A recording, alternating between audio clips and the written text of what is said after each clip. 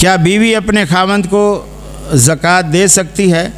जी, अहनाफ इसको मना करते हैं, लेकिन रसूल अकरम सल्लल्लाहु अलैहि वसल्लम की हदीस की रोशनी में, अगर खामद गरीब है और बीवी मालदार है तो बीवी खामद को ज़क़़त दे सकती है।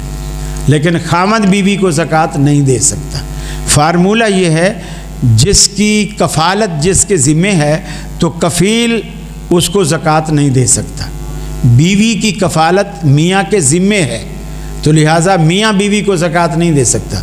लेकिन बीवी के ज़िम्मा शौहर पालना नहीं है, वो उसको ज़क़़त दे सकती।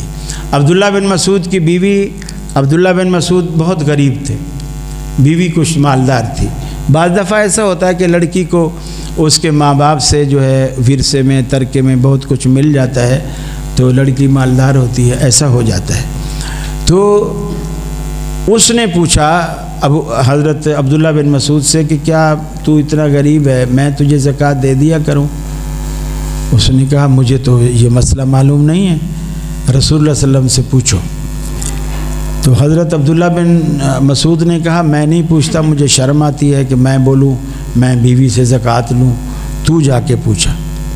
तो हज़रत जैनब गई, अल्लाह के रसूल से, तिरमज़ी की रिवायत मसला पूछा, दरवाज़े पे बैठ गई, जब बिलाल बाहर आए तो बिलाल से कहा, बिलाल, रसूलुल्लाह सल्लम से मसला पूछो, लेकिन ये नहीं बताओ रसूलुल्लाह सल्लम को कि मसला किसने पूछा है।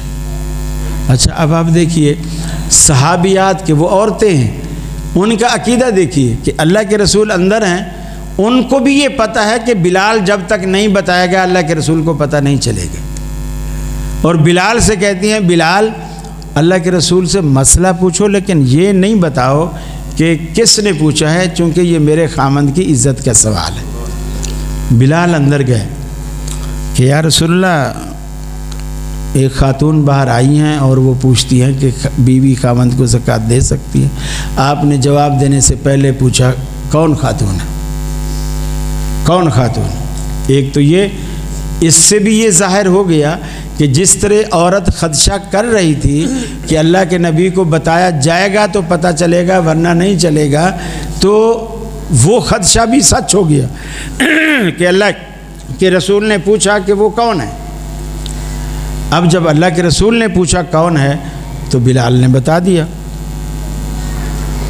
पानी डालो।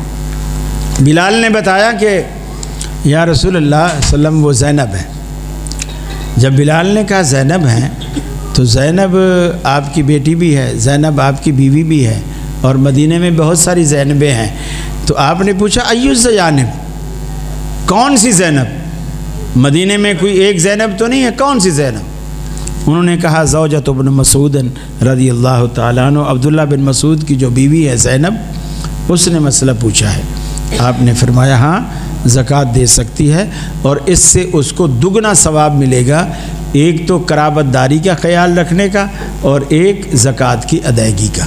उसको दोहरा सवाब। तो आप भी अगर रिश्तेदारों को ज़रूरी नहीं कि बीवी की ज़क़़त लो, अगर आपके भाई, आपकी बहनें, आपकी भांजियाँ, आपके भतीजे अगर वो गरीब हैं, तंगदस्त हैं और आप मालदार हो तो आप बजाय गैरों में देने के अगर आप रिश्तेदारों में ज़क़़त देंगे तो आपको भी दोहरा सवाब इन मिलेगा।